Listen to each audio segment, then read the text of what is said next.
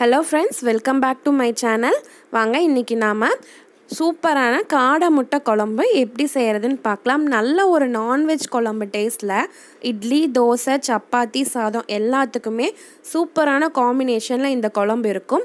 First இந்த குழம்பு செய்கிறதுக்கு தேவையான மசாலாவை வறுத்து அரைச்சிடலாம். ம மசாலாவை வறுக்கிறதுக்கு இது மாதிரி ஒரு பேன் வச்சுட்டு அதில் கொஞ்சமாக ஆயில் சேர்த்துக்கோங்க. ஒரு ஸ்பூன் இட்லி அரிசி சேர்த்துக்கிறேன். நீங்கள் புழுங்கர அரிசி கூட சேர்த்துக்கலாம். அது கூட நல்லா இட்லி அரிசி பொரிஞ்சதுக்கு அப்புறமா அது கூட ஒரு ஸ்பூன் தனியா அரை ஸ்பூன் ஜீரகம் அரை ஸ்பூன் மிளகு ஒரு ஸ்பூன் கடலைப்பருப்பு அரை ஸ்பூன் உளுத்தம்பருப்பு இது எல்லாத்தையுமே நம்ம ஆயிலில் சேர்த்துட்டு நல்லா கலர் சேஞ்ச் ஆகிற வரைக்கும் இதை ரோஸ்ட் பண்ணணும்.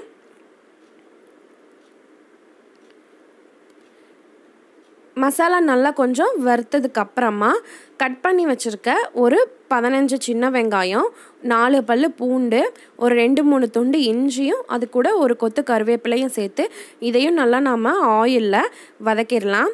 வெங்காயம் நல்லா கலர் சேஞ்ச் ஆகிற வரைக்கும் வதக்கிட்டு இது கூட ஒரு மீடியம் சைஸ் தக்காளியை கட் பண்ணி ஆட் பண்ணிக்கோங்க. இது மாதிரி சின்ன சின்னதாக கட் பண்ணி ஆட் பண்ணிட்டிங்கன்னா உங்களுக்கு சீக்கிரமாகவே வதக்கிறதுக்கு ஈஸியாக இருக்கும். இதையும் சேர்த்து நல்லா நாம் வதக்கி விட்டுறணும். நம்ம வெங்காயம் தக்காளி இதில் ஆட் பண்ணுறதோட சரி திரும்பவும் நம்ம குழம்புக்கு எதுவும் ஆட் பண்ண மாட்டோம். இது கூட ஒரு அரை மூடி தேங்காய் சேர்த்துட்டு இதை நல்லா மிக்ஸ் பண்ணி விட்டுடலாம். ஒரு ரெண்டு நிமிஷம் வதங்கினதுக்கப்புறமா இதை நம்ம ஆஃப் பண்ணிவிட்டு நல்லா ஆற வச்சு கரகரப்பாக மிக்சியில் அரைச்சி எடுத்துக்கணும். இப்போ இது நாலு பேருக்கு ஆகிற மாதிரி கிரேவி கிடைக்கும். பொட்டுக்கல்லை எதுவுமே நான் ஆட் பண்ணல. வெங்காயம் தக்காளியும் அரைச்சி சேர்த்துறதுனால பொட்டுக்கல்லை ஆட் பண்ணல. உங்களுக்கு நிறையா கிரேவி வேணும்னா நீங்கள் பொட்டுக்கல்லை ஆட் பண்ணிக்கோங்க. இப்போ இதை ஆஃப் பண்ணிடலாம். இப்போ முட்டை குழம்பு செய்கிறதுக்கு இது மாதிரி ஒரு அயன் கடாய் வச்சுக்கோங்க. அதில் கொஞ்சம் அதிகமாகவே ஆயில் சேர்த்துக்கோங்க. அப்போ தான் குழம்புக்கு நல்லாயிருக்கும் ஆயில் நல்லா ஹீட் ஆனதுக்கப்புறம் கடுகு உளுத்தம்பருப்பு கடலைப்பருப்பு போட்டு தாளிச்சிட்டு ஒரு கத்து கருவேப்பிலையும் சேர்த்துக்கோங்க. இது கூட ஒரு டீஸ்பூன் வந்து நான் கறி மசால் பவுடர் ஆட் பண்ணுறேன் அதுக்கப்புறம் இந்த குழம்புக்கு தேவையான அளவு மிளகாத்தூள் சேர்த்துக்கிறேன். ஒரு ஸ்பூன் மிளகாத்தூள் ஆட் பண்ணிக்கோங்க. ஆட் பண்ணிவிட்டு இதை நல்லா நம்ம ஆயில்லையே ஒரு ஒரு ரெண்டு செகண்ட் வந்து இதை வதக்கி விட்டுடலாம். இதுக்கப்புறம் நம்ம அரைச்சி வச்சுருக்க மசாலா பேஸ்ட்டை இதில் சேர்த்துட்டு இதை நல்லா இந்த கறி மசால் கூட மிளகாத்தூள் கூடலாம் ஒரு ரெண்டு நிமிஷம் இதை நல்லா ஆயில்லையே நல்லா இந்த மசாலாவை வதக்கி விட்டுடணும். ரெண்டு நிமிஷத்துக்கு அப்புறம் நம்ம இதுக்கு தேவையான அளவு தண்ணி சேர்த்துடலாம். அந்த மிக்சியிலேயே கொஞ்சம் தண்ணி விட்டு நல்லா அலசிட்டு அந்த தண்ணியே நம்ம இந்த கிரேவிக்கு ஆட் பண்ணிக்கலாம்.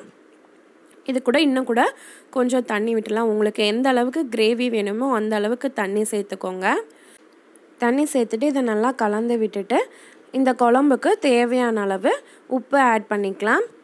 உப்பு ஆட் பண்ணிவிட்டு இதை நல்லா மிக்ஸ் பண்ணி விட்டுட்டு இதை ஒரு அஞ்சு நிமிஷம் நல்லா கொதிக்க விட்டுடலாம் இதே குழம்புல நீங்கள் முட்டைக்கு பதிலாக காளானும் சேர்க்கலாம் மீல் மேக்கரும் சேர்க்கலாம். நான்வெஜ் கூட நீங்கள் இதே மசாலாவை யூஸ் பண்ணி செஞ்சு பாருங்கள் எல்லாம் நாம் அரைச்சி சேர்த்துருக்கறதுனால ரொம்ப சூப்பரான டேஸ்ட்டில் இருக்கும். இப்போது நம்ம வேக வச்சு ஓடு எடுத்து வச்சுருக்க முட்டையை நல்லா நாலு இடத்துல கீறி விட்டுட்டு இந்த குழம்புல ஆட் பண்ணிவிட்டு இன்னும் இதை ஒரு அஞ்சு நிமிஷம் நல்லா கொதிக்க விட்டுடலாம். இது மாதிரி நல்லா எண்ணெய் தனியாக பிரிஞ்சு வந்ததுக்கப்புறமா நம்ம ஸ்டவ் ஆஃப் பண்ணிடலாம்.